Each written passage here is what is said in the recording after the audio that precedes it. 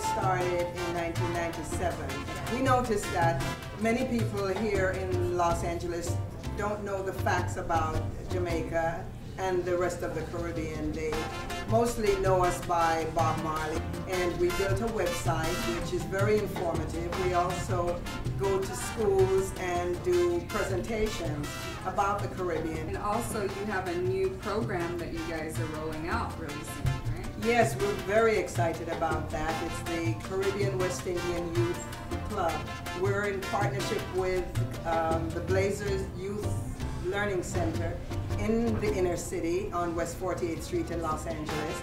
And they have a marvelous after-school program where they uh, prepare high school kids for college and tutor and also mentor the children. So we thought it would be excellent for us to join with them and form a support group for children of the, uh, the Caribbean. We're spreading the word about Jamaica through the arts, theater, and education. Last year, we kicked off uh, a grand evening at the theater, which was at the Colony Theater, and we previewed Deborah Ehrhardt's Jamaica Farewell, and we did a grand reception after that, and it was a hit. JCA also um, supports children and passing on of the heritage.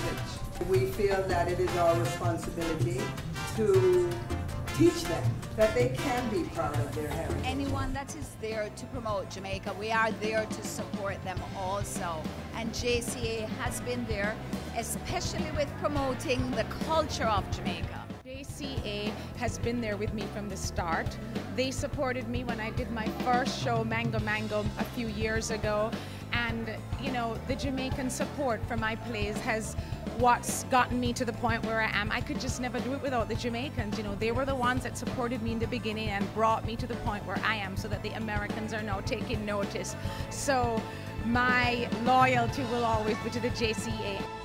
And so the task that you have set yourself as the Jamaica Cultural Alliance in bringing different cultures together is an important one building on that cultural heritage that we ourselves have uh, been privileged to be a part of. A sense of people from various differing ethnic origins, but yet nevertheless one people out of the many.